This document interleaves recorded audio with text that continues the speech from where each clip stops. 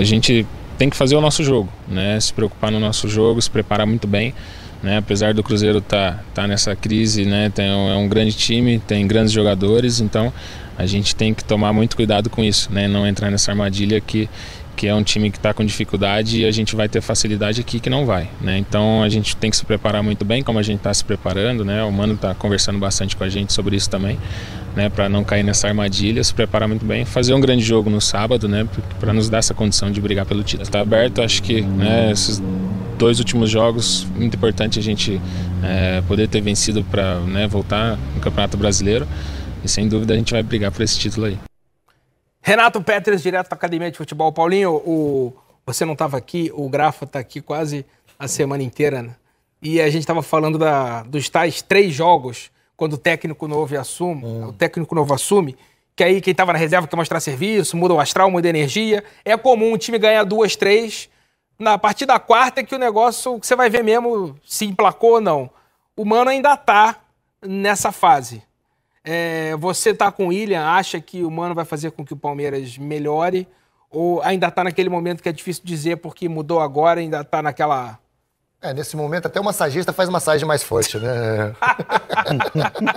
Todo mundo tem que mostrar trabalho. Passa mais óleo ali. Exatamente. Ali agora muda tudo. Mas assim, eu, eu fiz outro jogo do, com, com o Goiás e naquele jogo que o, que o Mano só conversou com os jogadores, porque o aquele treinamento que a gente só precisa de conversa.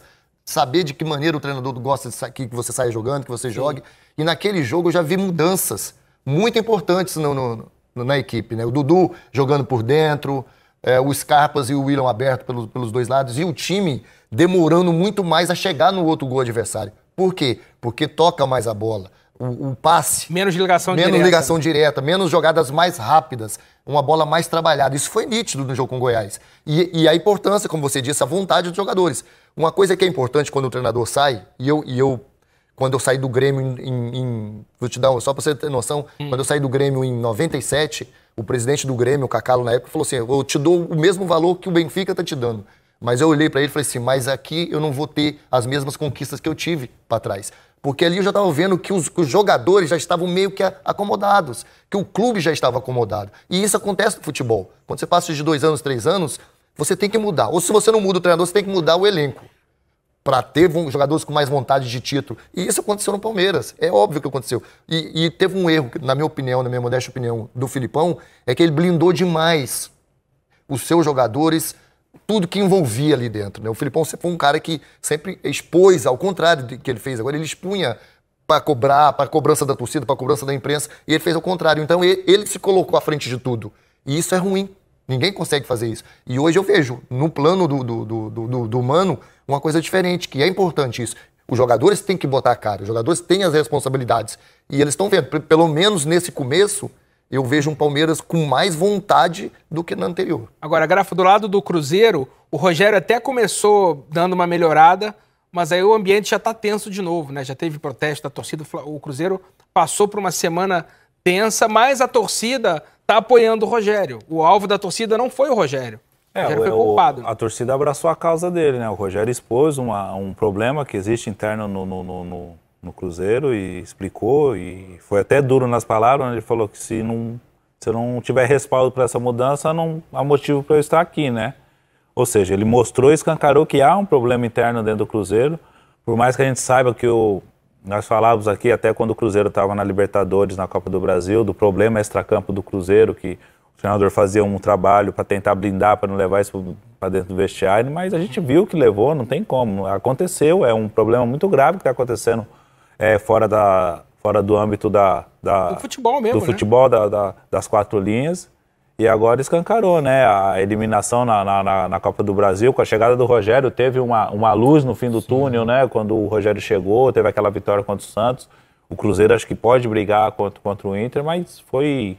O Inter passou por cima, conseguiu uma grande vitória. E no jogo passado escancarou os problemas que teve. E ele.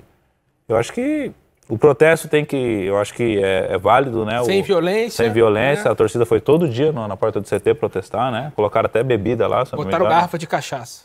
A sorte é que o Chulapa não joga no Cruzeiro. Senão tinha sobrado uma ali fora. Mas, mas essas coisas não é que, que, que os jogadores estão indo pra noite, que tá tomando cachaça, não tem nada a ver, Não, não. eles É- fizeram uma. Não sei se chegaram a fazer, mas disseram que ia fazer um disque denúncia. Ó, se você vir algum jogador do Cruzeiro na noite, a gente vai lá e vai mandar o cara embora Pô, pra mas os casa. caras sabem esse momento que o Cruzeiro tá passando, que os caras vão na noite, os caras não vão na mas noite. Isso aí, o, vão. o, Grafa, isso aí, o, o futebol sempre foi assim. É, sempre teve isso daí. Isso aí, se, se tá ganhando, se, se, se- se o time vai jogando, ninguém, o jogador, eles não vem nem o jogador na noite. O Bruno na rua. Henrique, que apareceu aí, outro dia tava passeando com a esposa e com o cachorro. Foi. De tarde. E um torcedor foi lá botar o dedo na cara dele, alguém ficou Isso filmando. é- A isso esposa é- dele foi bem, ele Foi também, bem. deitaram no, É, cara. jantou tem o cara que, é, lá. Isso é, que- só- isso é derrotas que fazem isso. E outra coisa que é aquilo que eu te falei de, de tempo de clube e de conquistas, o Cruzeiro vem de, É, de dois isso agora. títulos da Copa do Brasil. Queira ou não queira, o jogador se acomoda um É o que você pouco. falou do É Grêmio. do aí. Grêmio. É. Eu- se, eu, se eu continuo no Grêmio, eu não ia dar o que, o que o presidente estava querendo, queria, que a torcida merecia. Por isso que eu saí. Porque existe momentos e momentos. O jogador tem que saber que ele não, ele não vai extrair nada mais dali. Não Ele vai ser eterno. Ele não vai exatamente. É o momento, tem que pensar. Se não, se não muda o treinador, modifica o grupo, modifica os jogadores. E o Cruzeiro, convenhamos, né? O Cruzeiro tem um time com mais de 30 anos. o Tem um elenco envelhecido. Envelhecido. Além de ter sido campeão duas vezes, Duas vezes. e ter que tirar de novo vontade, Exatamente. tem um elenco envelhecido, Exatamente. né? É ruim Thiago você falar isso, né? Neves, o Egídio. Esse, esse- esse ano ele trouxe jogadores mais jovens, o caso do Pedro Rocha, do Marquinhos Gabriel, o próprio Rodriguinho, mas, mas mesmo assim é, é complicado. E essa transição que essa transição vai acontecer no Cruzeiro no final do ano, pro próximo ano. Vai ser uma transição bem difícil pro clube também, porque o clube financeiramente também não tá bem das Pois é, pernas. pois é. A torcida vai ter que ter muita paciência, né, quando houver essa transição da saída de jogadores, na chegada de, de novos jogadores, que vai ser um ano bem complicado pro Cruzeiro no próximo ano. Você citou o Pedro Rocha, ele disse que o Mano conhece o grupo, mas que o Cruzeiro mudou com a chegada do Ceni. Vamos ouvir. Ele conhece muito bem nosso grupo, porque ficou aqui mais de três anos, então conhece muitos dos que estão trabalhando aqui. Mas acredito que a gente já, já mudou sim bastante, principalmente estilo de jogo com, com, a, com a desde a chegada do Rogério. Então a gente sabe que é um grande clássico do futebol brasileiro. É, jogo sempre o Palmeiras e o Cruzeiro saem bons jogos. E só nos resta ir lá e buscar a vitória. A gente tem que mudar, tem que, tem que se doar um pouco mais, tem que fazer o que for possível para sair dessa. para reverter essa situação, porque a gente sabe que é, o Cruzeiro não merece, o clube não, não merece passar por esse momento. E nós jogadores também, a gente tem essa consciência de que é, o momento não é um dos melhores, mas a gente trabalha o máximo cada dia aí, cara, para reverter a situação. Cara, os patrocínios podiam não ficar na cara do jogador enquanto ele fala, né, cara? Podia abaixar um pouquinho. Se eu tivesse ali, eu abaixava um pouquinho o microfone.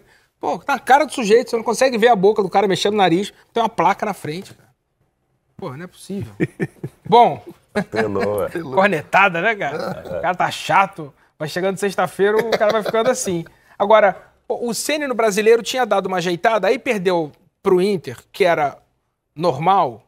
O Cruzeiro podia ter revertido? Podia. O Ceni até entrou nesse vácuo que o Mano deixou para tentar fazer alguma coisa. Não rolou. Mas aqueles 4 a 1 do Grêmio, o Ceni foi constrangido para a entrevista. Né? Ele falou que preferia não estar ali, inclusive. É a maneira que foi, né? É. Como o, o Grêmio se impôs, né? Jogando no, no Independência, na casa do. Não é um resultado normal 4 a 1 entre Grêmio e Cruzeiro, né? Nunca, nem se fosse no Olímpico o jogo, é difícil sair quatro gols, tomar quatro gols.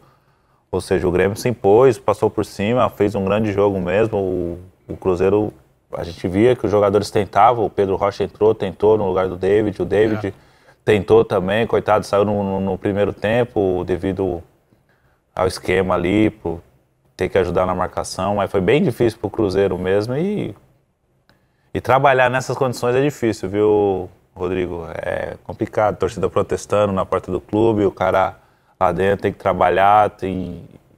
e sábado tem o Palmeiras pela frente no, no palestra, é...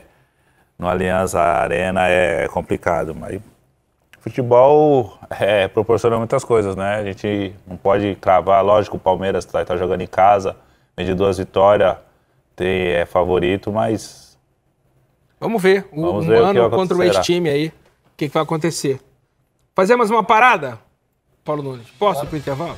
Então, olha só. Você não sai daí que o Troca volta já. Vamos falar um pouquinho do jogo da quarta-feira, da final da Copa do Brasil. Tem análise tática para o grafite brilhar no telão. então não sai daí que o Troca volta já.